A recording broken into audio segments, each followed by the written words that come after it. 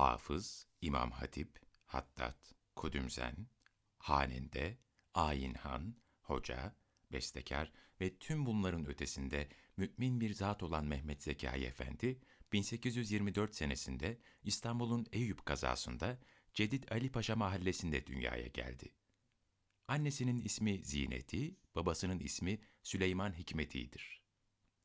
Babası, mahalleye adını veren Cedid Ali Paşa Camii'nde imam hatiplik yapmaktayken, aynı zamanda Lalizade Abdülbaki Efendi İptidai Mektebi'nde hüsnihat dersleri de vermekteydi. Zekai Efendi'nin amcası olan Hafız İbrahim Zühdi Efendi de yine aynı mektepte muallimlik yapmaktaydı. Böyle bir ailenin evladı olarak ilkokul tahsiline başlayan Zekai Efendi, mektebi bitirdikten sonra vakit kaybetmeden amcasından hıfza başlamıştır.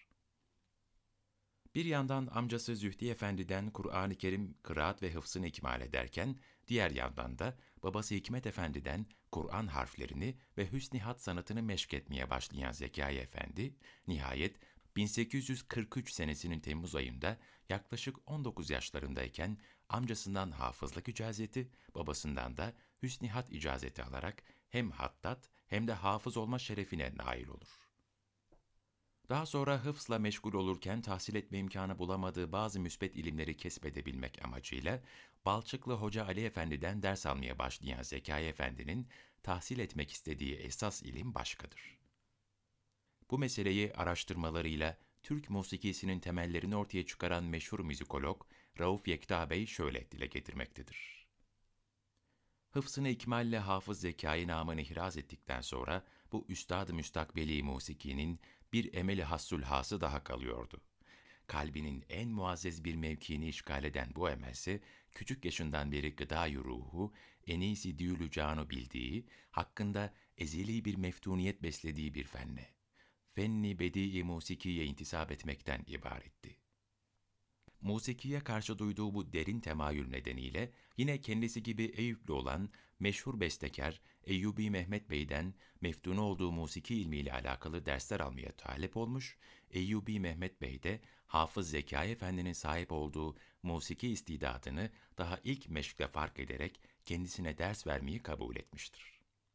Eyyubi Mehmet Bey henüz 19 yaşlarındayken yanına gelen tilmizine o günden itibaren hususi ihtimam göstermiştir.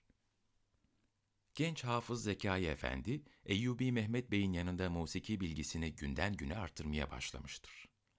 Fakat aynı zamanda babasından aldığı hüsnihat derslerini de ilerletmek istemektedir.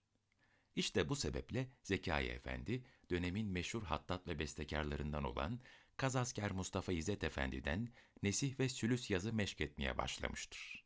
Nitekim bu dersler bir yıl süreyle devam edecektir. İzzet Efendi, Hüsnihat Şakirdi'nin az vakitte musikice kazandığı şöhreti şaiyayı evvelce işitmiş olduğundan, ilk yazı göstermeye geldiği zaman bir şey okumasını emretmesiyle, Zekai Efendi'nin emri üstada imtisalen terennüm eylediği bir ilahiyi Samiyayı takdirle dinlemiş ve sanatı dakikayı taganideki maharetini sureti mahsusada takdir ve tahsin eylemiştir. Hoca merhum ondan sonra ne vakit temeşruk için gitse, efendi müşarünü leyh şakirdinden evvela birkaç ilahi istima etmedikçe yazısını çıkartmazmış.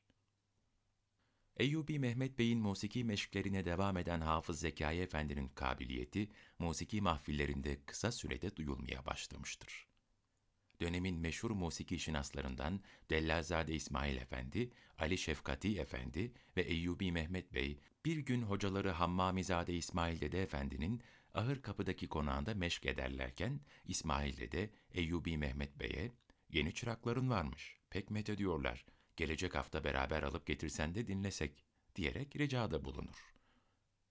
Bunun üzerine Eyyubi Mehmet Bey bir sonraki meşke Hafız Zekai Efendi ile Hafız Hamdi Efendi'yi de getirir. İsmail Dede Efendi iki talebeden o güne kadar geçtikleri eserlerden birisini okumalarını isteyince Hafız Zekai ile Hafız Hamdi heyecan içerisinde murabba bir eseri birlikte okurlar. İsmail Dede bu eser icrasından son derece memnun olduğunu ifade ederek her iki talebeyi de takdir eder ve ardından Dede Efendi, Hafız Zekai'de müşahede ettiği istidadı musikiye hayran olmaktan kendini alamayarak yalnızca bir şey okumasını talep eder, koca üstadın bu defa nazarı dikkati büsbütün açılır ve henüz mirkat-ı terakkiyat-ı musikiyenin evvelin payesinde bulunduğu halde bu derece azar iktidar göstermekte olan Zekai'nin ileride ne yaman bir dahiye-i musiki kesileceğini tahmin etmiş olmalı ki, Zekai Efendi'nin o sırada ibraz ettiği asar-ı liyakati bir sureti fevkalade alkışlamaktan kendini alamaz. Cümleten biraz meşk edilmesini mütakip namaz vakti hulul ederek abdeste kalkınca odada Hafız Zekai'nin yalnız kaldığı bir sırada Dede Efendi merhum der ki, Oğlum artık bundan böyle hocanla her vakit birlikte buraya meşke devam edebilirsin. Ancak haftada bir günde ayrıca gelmeye vaktin müsaitse herhalde istifade edeceğini ümit ederim. İsmail dedenin bu teveccühü karşısında büyük sevinç yaşayan Zekai Efendi, onun bu teklifini hürmet ve minnetle kabul eder. Nitekim Zekai Dede Efendi, 1844 senesinin ortalarından 1845 senesine kadar İsmail dedenin meşklerine bir sene boyunca haftada bir gün yalnız olarak, haftada iki günde Eyyubi Mehmet Bey ile birlikte iştirak etmiştir. Zekai Efendi 1845 ile 1858 yılları arasında 13 sene boyunca vakit vakit İstanbul'a avdet etse de Mısır'da bulunmuş ve Mısır'da ikamet ettiği yıllarda Arap musikisiyle yakından ilgilenerek orada Şeyh Şihab isimli bir alimle meşklerde bulunmuştur. Nitekim Zekai Dede'nin şuul formunda pek çok eser bestelemesinin sebebi olarak Arap musikisine olan vukufiyeti gösterilmektedir.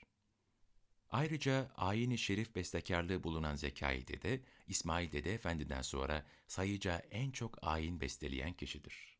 Suzi Dil, Maye, Isfahan, Sabah Zemzeme ve Suznak makamlarında ayin besteleri bulunmaktadır. Darüşşafaka Mektebi'nde 1877 senesiyle 1883 senesi arasında 7 sene herhangi bir ücret almaksızın fahri olarak 1883 tarihinden vefat tarihi olan 1897 senesine kadar da yaklaşık 15 sene resmi musiki muallimi olarak görev yapmıştır. Darüşşafaka'nın musiki tarihimizdeki mühim rollerinden birisi de Türk musikisinin ayrı bir ders olarak okutulduğu ilk lise olmasıdır. Dolayısıyla Zekai Dede Efendi böyle bir okulda Türk müziği dersi veren ilk hoca olarak ayrı bir öneme sahiptir. 20. yüzyılın en önemli bestekar ve musiki şinaslarından olan Ahmet Avni Konuğ'un Zekai Dede Efendi'den ilk musiki derslerini Darüşşafaka Lisesi'nde almış olması, Türk musikisi öğretiminin lise yıllarında başlamasının ne gibi fütühatlara vesile olabileceğini gözler önüne sermektedir. 1897 yılında Zekai Dede Efendi'nin sıhhatinde bazı zafiyetler tebarüz etmeye başlar. Ancak Zekai Dede buna rağmen ayinlere her hafta iştirak etmeye devam eder. O yıllarda Yeni Kapı Mevlevi hanesinde binbir günlük çilesini çıkarmakta olan şair Tahirül Mevlevi, Zekai Dede Efendi'nin vefatını şöyle anlatıyor. Hem hafız, hem musiki şinas, hem hattat, velhasıl mecmai mehasin bir zat-ı şerif idi. Sinni 80 karib olduğu halde hizmetinde gayet mukaddem olup karda kışta, yağmurda çamurda her hafta Eyüp'ten bizim dergaha kadar gelir ve bir hafta bile terk etmezdi.